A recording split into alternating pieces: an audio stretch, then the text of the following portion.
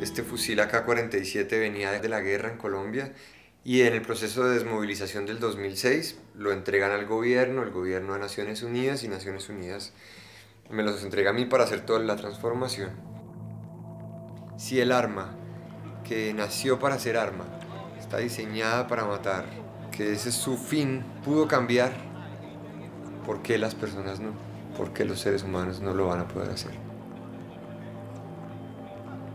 Bueno, todos sabemos que el AK-47 pues, es el más usado en todas las guerras en el mundo, que por ejemplo en África se consigue por 8 dólares, que le da a los, a los grupos armados les gusta porque, porque es liviano, porque los niños lo pueden disparar, usar con facilidad. Este fusil puede tener entre 200 o 300 víctimas.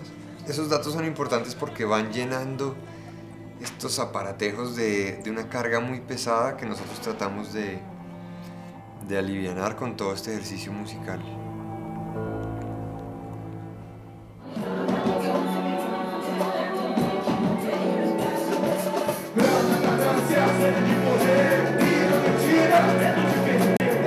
Afroreggae eh, es una organización cultural. Yo les regalé una de estas guitarras para que sigan trabajando en, las favelas de Río de Janeiro.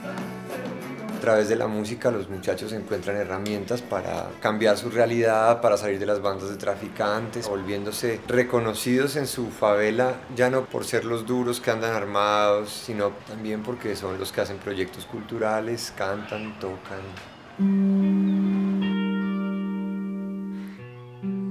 Yo sí creo que nosotros estamos como a dos pasos de la paz. ¿no?